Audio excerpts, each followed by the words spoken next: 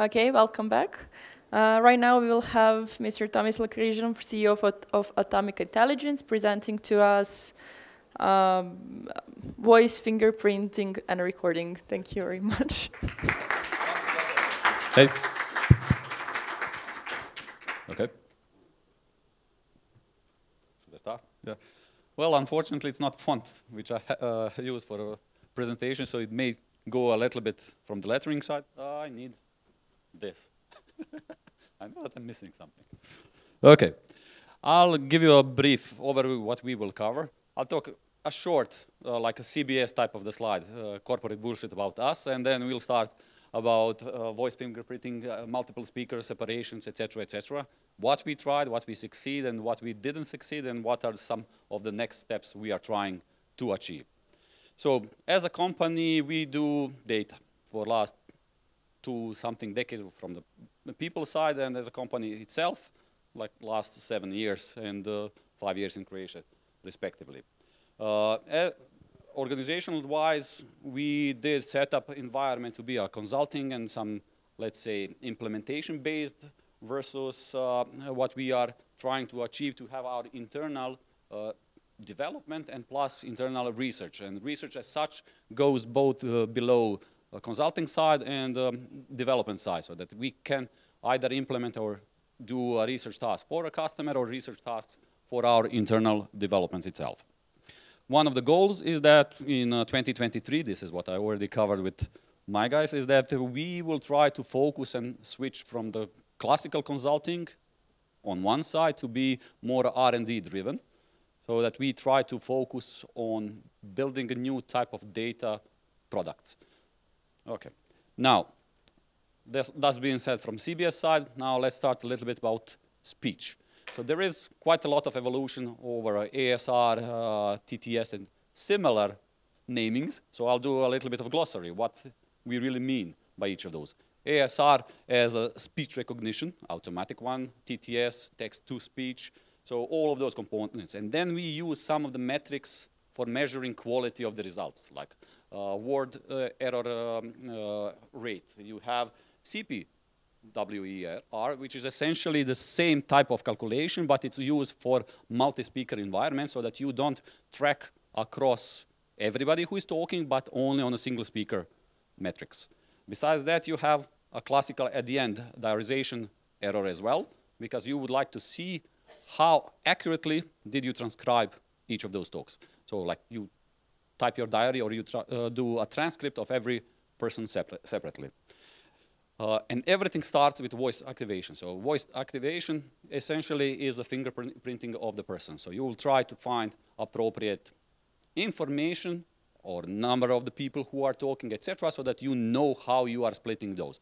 There are some issues on the market uh, or on uh, solutions which are currently present because um, those who are focusing on a wave type of application, uh, it, they have an issue with number of unknown speakers when you are starting. You, if you want to have something which is a real time, you don't want to know in advance that there are four persons or 55 or two.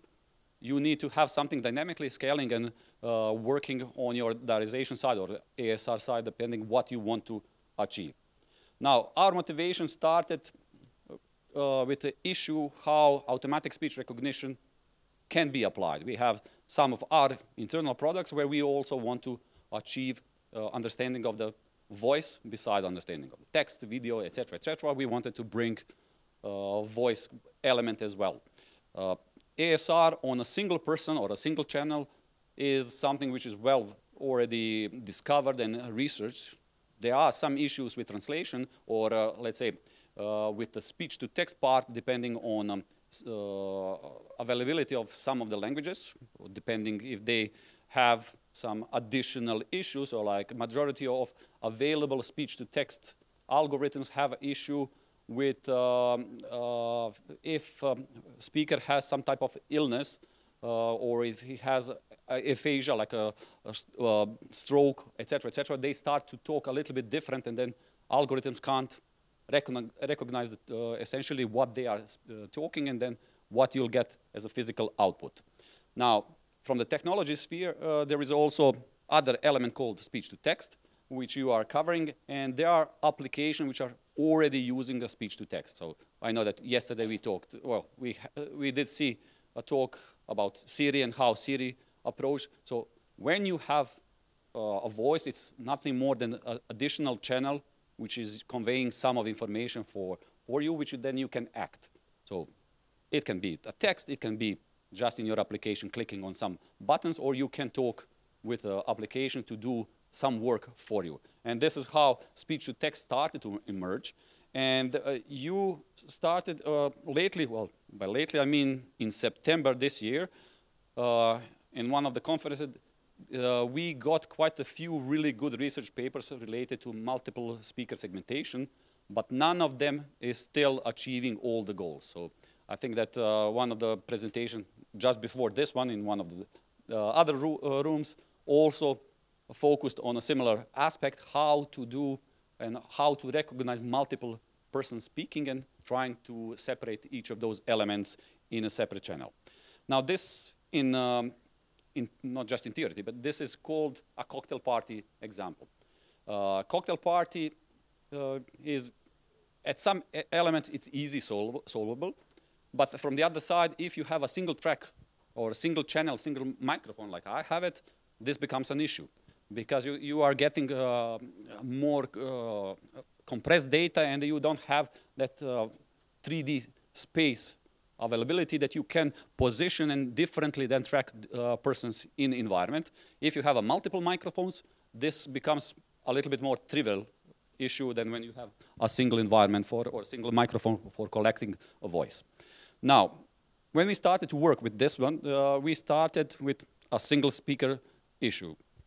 Relatively easy solvable.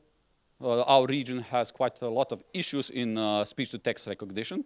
Uh, some region has more, like we have Zagorje in Croatia, we have Niš here. So they are not a classical language or uh, let's say official language. They have something which goes a little bit out of uh, normal language definition and it becomes issue for any NLP type of the tasks. So on, uh, from the use cases, uh, besides having multiple speakers, you may have multiple speakers talking at the same time. This becomes even greater issue because when they are talking at the same time, you get compress uh, compression, you get overlapping of the talks, and you get noise, you can, you can get uh, a lot of additional artifacts in that element. Uh, one additional let's say motivation is beside using this in uh, environment uh, for our products is that we started to think how we can use this for speeding up any type of online meetings. So uh, let me ask you one first question. Who heard about advances from NVIDIA for video streaming over online meetings? What they approached and what, cool. Well, this is good. We have two. so what NVIDIA approached is a, essentially a deepfake model. Uh, that they will take a facial feature of the person from each side or multiple sides of your teams. They will send this as a fingerprint of the person, and then they will just uh, capture movement of uh, specific elements, your mouth, eyebrows, etc., etc., and then just deepfake it on the other side. Now you're moving just some small elements, and your throughput is not anymore relevant because you send small data. And this is also something we are uh, thinking about. If you are able to do a really good speech to text, it means that uh, you can also send a fingerprint of the person voice, which can then do again on the voice side deep faking. But now you're sending a text of uh, who is uh, talking what, and then with the proper diarization, like you had the subtitles for the movies, who said when what, you can do a really good uh, denoising and really clean talk through any type of the network. Now, diarization is really uh, a key issue here. Who said when and what? Well, not what, who said when, uh, so that you can achieve this and start spreading it. So it can be a, a separate channels, it can be in the same documents, depending how you want to uh, trace this one. And as I already mentioned, the biggest issue is that I will not, ah, I will be able to show it.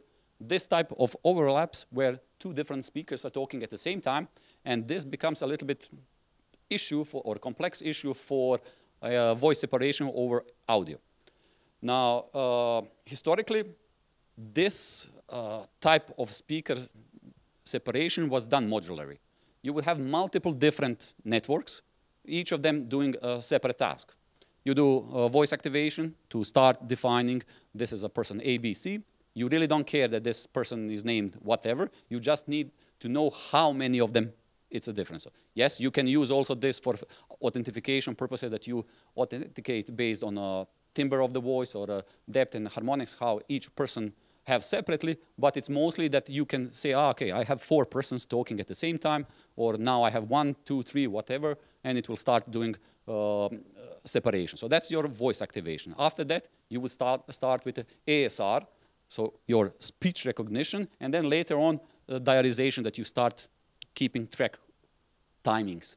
So especially if you want to replay it, that you have a timing, etc. So this is essentially three different networks doing three different tasks. Uh, first research paper started this year, uh, near June, started to move into multitask frameworks. So, uh, ah, well, I have a little bit input before that one. Uh, what we else did is uh, one of the colleagues did on Monday talk about music separation we are doing as well, so that you throw any type of uh, music inside of it and it start spread, spreading it into instruments. It started with uh, uh, decomposing additional networks which are available, MobileNet and ResoNet, so that we can achieve a little bit better results and quality of the outputs across different instruments. I just wanted to uh, remember this is additional relevant project which we are working. It's completely separate than a voice. It's more music related. It does not care about diarization. It does not care about speech-to-text translation, but it still has some aspects which should be potentially uh, useful later on. Now, uh, this is why I said that uh, font is really important. So a single speaker um, the, the reco recording, like in this case, what we are doing is, is you get a spectral analysis of your voice, of your speech, of your music, etc., etc., and then based on the different patterns, you can start identifying and spread, uh, spreading information. And from this, you will start also generating outputs which are audio outputs. Uh, initial base ground or baseline from which we started is a word to vec, or sorry, wav2vec, uh, which has first, let's say, uh, state-of-the-art element of combining multiple tasks for speech recognition in a single platform. It has still issues. So what we needed to do, one of the good parts is that it does really well on unlabeled data and it's open source. So everything we are showing here is uh, based on open source technologies because there are uh, two, two really good algorithms available, but they are commercial one from Google, one from uh, Microsoft. They still lack some of the functionality, but uh, knowing how much uh, they can invest and how fast, I think that they will solve it relatively fast. Now, uh, here we also start, and you see how it goes from the waveform, but you start adding different tasks in a single platform. So learning new language is quite easy when it's already pre-trained on the larger volumes of the data set. So it's just injection, injecting new information. But it still lacks capability about um, uh, voice activation, uh, about uh, ASR, and later on diarization. This is something we needed to inject as a separate layers in the platform itself. So injecting is started initially, well, it is few layers, it's not one, with that functionality so that it can fingerprint the person. Then uh, this layer will feed in your ASR, and this layer later on uh, does the final output through text-to-text or a speech-to-text uh, component with diarization element jointly. And again, font. Unfortunately, you don't see, but it does through the pooling and aligning layer on top of the layer so that you can get a single functionality, well, multiple tasks from the single platform itself. Now, this became baseline. It has an issue. With, it has relatively, uh, I wouldn't say uh, good, but uh, nearly good result in word error rate and diarization error. So it has decent results, but it's not, not still good enough. So what we started is uh, try to see what Whisper from OpenAI can offer, because Whisper is now a technology which came in September, and it has quite a lot of functionality. And if you already track what OpenAI does through all of those uh, different frameworks, you know that they are investing on a training side, on a data set side, all of those important elements. And uh, this is essentially a transformer-based model, which means as soon as you do something, it's easy to pass the knowledge on a new language and pass the knowledge on something else. And it, is, it, it has really huge uh, data set in the background. They trained it on 680,000 uh, hours of the multi, multi-language speech. And even on a smaller, let's say, languages, it, it behaves really, really good. But it still uh, uh, has an issue with separation. It's robust to noise, which uh, wave to, uh, to uh, word is not. So wave to uh, vec is not. So it has some robustness. And I think that this morning when Professor Luca did the talk, you saw that if you want to have a big environment and a robust environment, you need a lot of parameters. And that's the biggest difference between uh, wav2vec and uh, Whisper algorithm. So that they have a huge uh, set of uh, features which are activating in the background. Now, robustness is really important here, but it's still, okay, it's still open source, which allows us to do a lot of the things. And one of the elements which they do out of the box is this type, end-to-end. -end. You can't get a separate, uh, let's say, waveform of the talk, but you'll get as a text representation. You can embed directly uh, speech translation so that it does through, or language translation so that it does immediately diarizing in multiple different languages, which becomes sometimes handy, not always, but it uses a different set of activation functions, how it goes through layer through layer through layer to achieve the results. Now, again, to achieve similar, let's say, or better results, we needed to extend it. We did the same type of uh, injecting layers. Again, you needed a really good uh, voice activation, you needed uh, diarization and ASR so that you can get all of those elements separately. Now, it is robust to noise, and um, it behaves relatively good. I, I wouldn't say great. Uh, it still uh, has some issue with uh, transformer models and how transformer models tend to go in a looping during, during the processing. And I'll show you on one example if we'll be able to play it, uh, where this becomes obvious task. But again, this has a big issue with the voice overlapping. It's still doing some of the spectral elements in the background, but when two or more voices overlap, it becomes a little bit hazy, and then it can start creating its own words uh, and producing results, whatever they are. Let's see, we'll be able to play it. So I think that's all for today. okay, we have to fill in all this stuff. Maybe they'll start screaming. So it's uh, a recording from the meeting. No, no it's not important. So you can, uh, uh, you can uh, turn it down. So essentially, this is what we get. It correctly identified that there are four persons talking. So you have speaker one, two, three, four, and it shows each of them separately. And this is where that uh, CPWER matrix comes handy because it tracks each of those. Can somebody spot issue here in results? Yeah. And in something which we didn't hear, it's just once.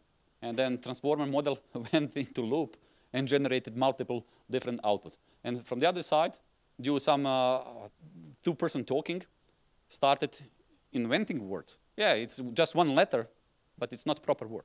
So this is something which needs to be also fixed. But in, uh, let's say, from the high level, it's relatively good translation, what uh, somebody says. So now applying NLP on top of it and trying to fix sentences that they make sense, this will become even better. Now, we know that people are not talking constantly, let's say, meaningful. Uh, it, does not know, it does not mean that uh, NLP will fix it, but uh, it has a good chance at least to try to align it with the language. Now, as uh, if, if you remember, I told you, try to remember that uh, additional projects we are doing, which uh, focuses on music separation. This is now our element which we try to invest, uh, uh, let's say, inject instead of the uh, original voice activation functions, that we really split this on the voice level. Split every voice separately. And then this becomes a relatively trivial issue to solve because now you don't have a multi-speaker issue, you have a single speaker issue. Every waveform, it's a single, uh, a single speaker essentially, and you cover it as such. And I think That's it.